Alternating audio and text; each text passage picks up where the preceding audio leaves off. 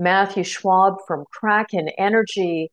Let's talk about uranium sustainability in the United States. You're definitely one of the top 10 uranium companies in the US that we're watching, and you've had some breakthrough announcements recently. Let's start there. Thanks, Tracy. It's always great uh, chatting with you. So yeah, we, we've had a great announcement recently. Uh, the recent news that we announced was that we received approval for drilling at our flagship Apex property.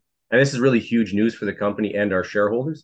It's been a long wait, and our team is very excited to be moving ahead with drilling the priority targets on the project.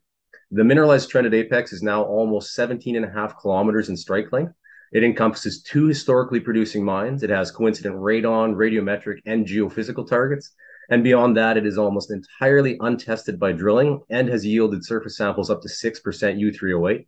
So if all goes according to plan, we should have a rig on location before the end of the month uh, we are permitted for an initial program of eight drill pads and up to 24 drill holes. This should give us more than enough opportunity to really test our priority targets west of the historic Apex mine. And with this drilling program, I think it gives us the chance to really prove up the entire corridor at Apex. And we are very confident that this will further justify a, a more advanced exploration along the entire length of that 17 and a half kilometer trend of mineralization. I, for those of you out there that might be new to uranium, uranium is about as sizzling as it can possibly be. And many of us see that interest only rising. I think you probably agree with us.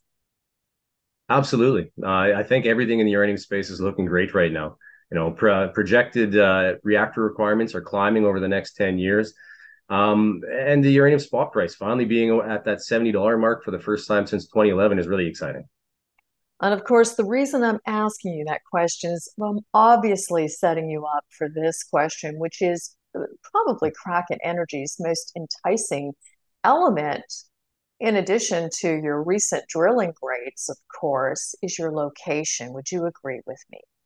100%. The U.S. is, in a, is a very unique situation. Uh, I think it really highlights the, the deficit that's growing for the uranium demand worldwide with the, the US requiring anywhere between 35 to 65 million pounds of uranium per year for their 90 plus reactors.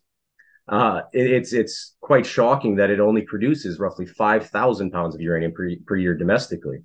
So, with supply being uh, becoming more difficult to come by, with uh, and Cameco now locking up long-term supply contracts with China, Russia, etc., with uh, Niger supply being uh, taken off the table for the European Union, supply is becoming very critical. Uh, and I think countries are finally starting to realize uh, how important that is for energy security going forward. And the US, of course, again, is a very drastic example of that.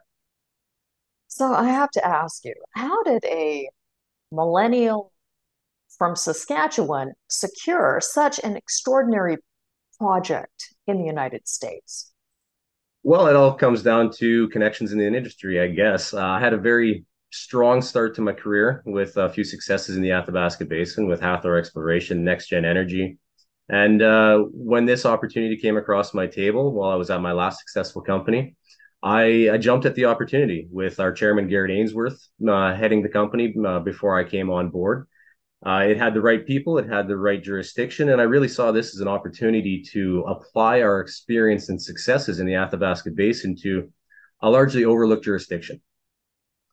Of course, in addition to being a resource play and exploration play, you're an ESG and a tech play. Would you agree with us? So what we're doing in the uh, in the United States is really trying to apply an exploration model that hasn't been used in the U.S. before. Well, when we're looking for uranium deposits, we like to use a term called pearls on a string. So when we find a mineralized corridor, uh, it has all of the components required to have multiple mineralized deposits all in, in string with each other. So we're taking that model from the Athabasca Basin and applying it to our exploration of high grade assets in the United States. And I think that Apex really gives us an opportunity to make that a real, uh, realistic possibility moving forward. And uh, we're very excited to have success on Apex and then apply that to other properties and other jurisdictions throughout the United States. And of course, in addition to the education and management, now that you've had your most recent announcement, you are proving that you're achieving the milestones that you're setting forth for Kraken Energy. So for those of you out there that are getting Kraken on your on your screen right now and you're starting to watch it, what should they be looking for next, Matthew? Going forward here, we're really looking forward to drilling off Apex and Harts Point, our, our flagship properties in Nevada and Utah. We're going to be seeing some great results coming from those uh, in the coming months and into 2024.